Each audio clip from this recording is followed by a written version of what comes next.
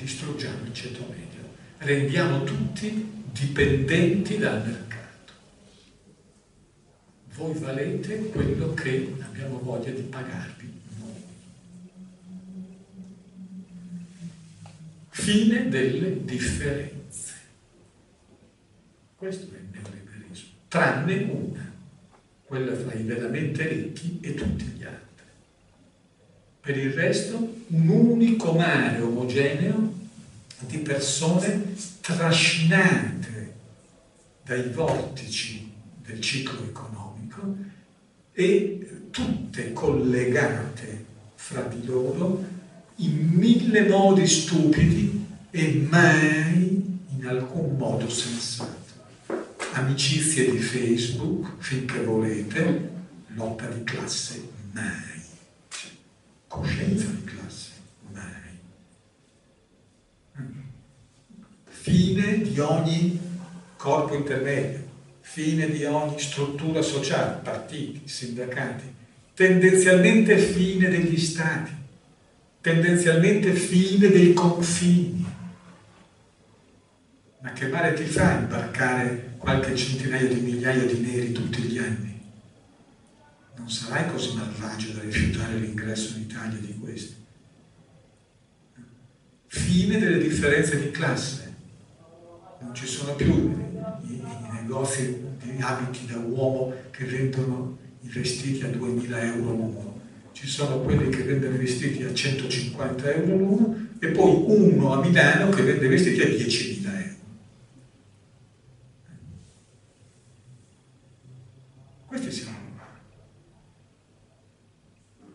Naturalmente tutto ciò contiene contraddizioni, non, va, non gli è andata liscia.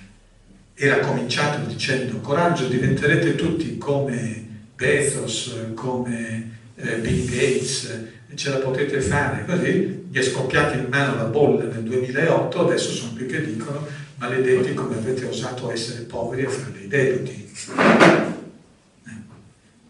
Gli è scoppiata in mano un bel po' di roba. Eh, la legittimità della, del neoliberismo non è più tu puoi diventare un miliardario, ma è eh, non c'è alternativa. Non vorrai mica tornare al signoraggio, cioè quando la politica comandava sull'economia, quando il Ministero del Tesoro comandava sopra la eh, Banca d'Italia. Non vorrai mica tornare, non penserai mica di tornare al comunismo. Non c'è alternativa, smetti di fantasticare. La realtà è quella che, ti, che hai davanti, non ce n'è un'altra, non ce ne può essere un'altra. Produce contraddizioni, te ne tieni. A questo punto ci sono le due posizioni, quella dei partiti mainstream che si autodefiniscono di sinistra che dicono no, ma riusciamo ad attutirle queste contraddizioni. Eh, si può stare nel neoliberismo senza farsi troppo male.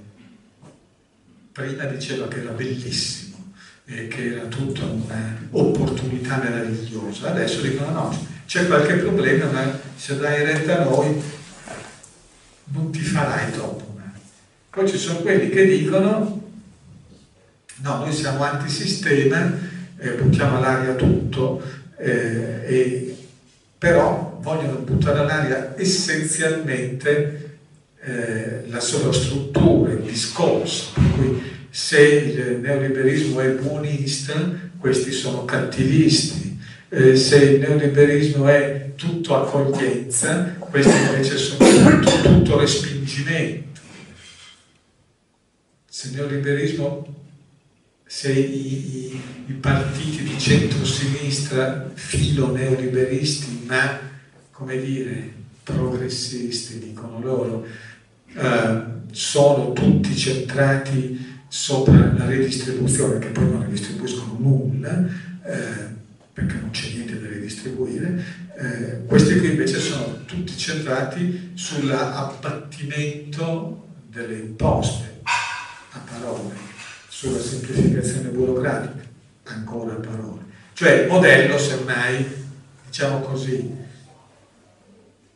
ordoliberalismo da una parte, neoliberismo dall'altra.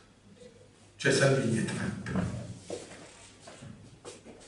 C'è uno che dice ci teniamo il capitalismo nella sua forma più sfrenata che va sicuramente meglio delle assurde regole dell'Europa. Mi direte, e la sinistra? E eh, io vi dico, e la sinistra? La sinistra si è bevuta tutto, ha accettato tutto, ha detto che era vero, che andava bene così e che la globalizzazione ha fatto tanto bene ai cinesi. E la risposta è ho piacere, naturalmente. Spero che il presidente segretario generale della comunità cinese abbia la stessa considerazione verso di noi che tu hai verso di loro. La sinistra è scomparsa, ha, ha perduto l'idea che la fondamentale della sinistra che la società è conflittuale. Non ce l'ha proprio, non ce la può avere, non ce la fa, non ci riesce. Cioè, per uno del PD, un imprenditore e un operaio sono uguali. Come per, come per Cavour, che per carità, un gran uomo, però non era proprio di sinistra. Eh l'imprenditore e l'operaio non sono uguali. Ma per il PD sì. Non hanno gli stessi interessi. Detto in un altro modo, c'è ancora il dominio, c'è ancora l'oppressione, ci sono ancora i crescenti le differenze, ma non solo di ricchezza, ma le differenze di sapere, di potere.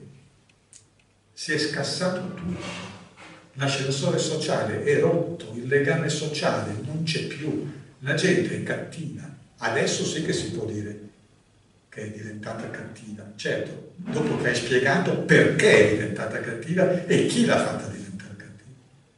È diventata cattiva perché gli hai tolto i diritti. Gli hai detto che capitavano certe cose e non sono capitate. Perché la gente sta peggio di prima e sa che il futuro starà peggio di come sta oggi è così facile.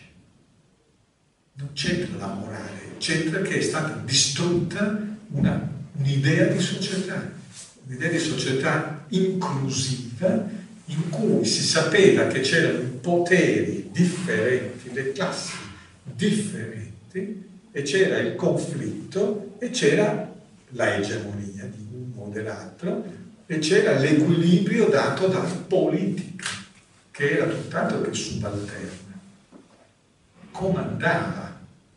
Cioè un ministro democristiano era uno che comandava, non era uno che prendeva ordini. Ecco. Un ministro di oggi è, un è uno che prende ordini.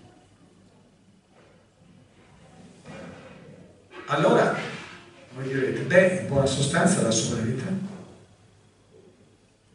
la sovranità diventa un problema quando ci si accorge che con le regole attuali la nostra realtà politica, chiamata Italia, non è più padrona di se stessa. Non può più decidere che cosa vuo, può e vuole essere. Non lo può più fare. Ma non l'ha mai potuto fare perché è piccola e la chitica. È una questione di gradi, gradi di libertà. Noi oggi non ne abbiamo proprio più nessuno.